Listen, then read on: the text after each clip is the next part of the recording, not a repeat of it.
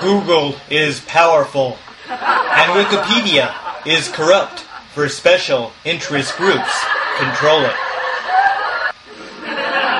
All that is official must be compromised by what is accepted rule over truth procedures.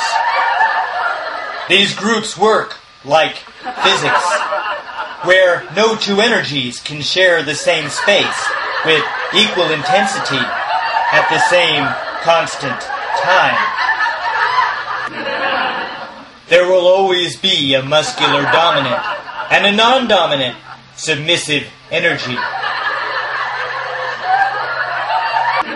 The interest groups protect the official paradigm with their truths of rules and rituals.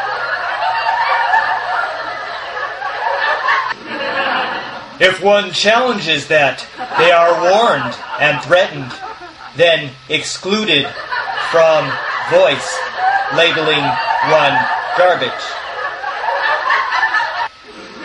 Wikipedia has no censorship morals, for the corruption is passed by corporations.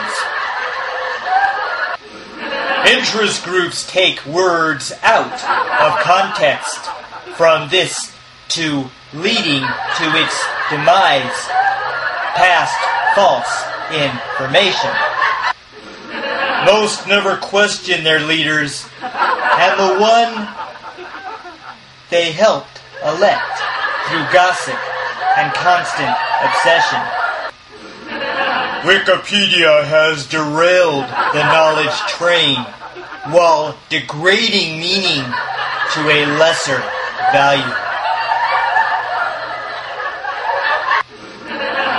Corporation interest care about bottom lines, not the wealth of knowledge or a human service.